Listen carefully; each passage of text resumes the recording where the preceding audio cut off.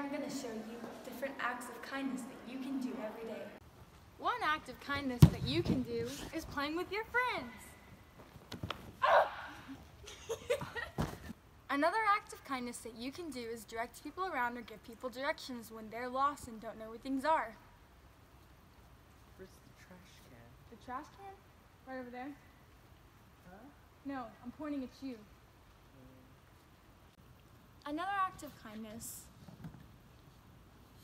is if you see someone who looks homeless or in need, basically a charity case, give them some cash.